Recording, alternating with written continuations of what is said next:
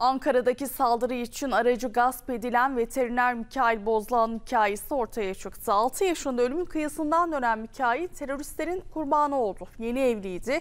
6 ay önce baba olmuştu. Teröristler yeni doğan evladını yetim bıraktı. 24 yaşındaydı Mikail Bozdağ'ın. Ankara'yı kana bulamak isteyen teröristlerin ilk hedefi oldu. Teröristler veteriner gencin aracına otostop çekerek bindi.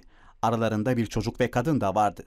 Kendilerini davulculukla geçinen bir aile olarak tanıttılar. Kadın ve çocuk bir süre sonra alışveriş bahanesiyle araçtan indi. Çocuğu orada hem kafasına sıkmışlar hem kafasını sert bir cisimle vurmuşlar. İki terörist az ileride köprü yakınında Mikail Bozdağ'ını ensesinden vurarak öldürdü.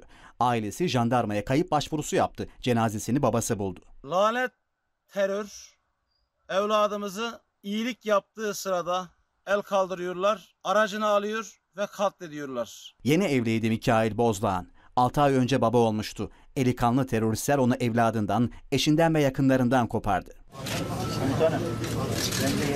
Bozdağ'ın 6 yaşındayken ölümün kıyısından dönmüştü. 2005 yılında kuzeniyle mantar toplarken kaybolmuş 4 gün sonra bulunmuştu. O zaman bulduğumuz Mikail kardeşimiz, evladımız dört günlük gece gündüz aç susuz yaşamaya tutunan kardeşimiz, evladımız lanet teröristler bugün katletmişler evladımızı. Şehit veteriner son yolculuğuna Kayseri'nin Develi ilçesinden uğurlandı.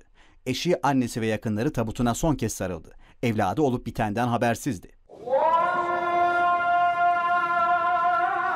Cumhurbaşkanı Yardımcısı Cevdet Yılmaz ve İçişleri Bakanı Ali Yerlikaya da cenaze töreninde saf tuttu. Namazı Kayseri Müftüsü Yusuf Akkuş kıldırdı. Helallik alındı, dualar edildi. Kardeşimize haklarınızı helal ediniz. Helal, olsun. helal ediniz. Helal. Babası bir kez daha sarıldı şehidin tabutuna.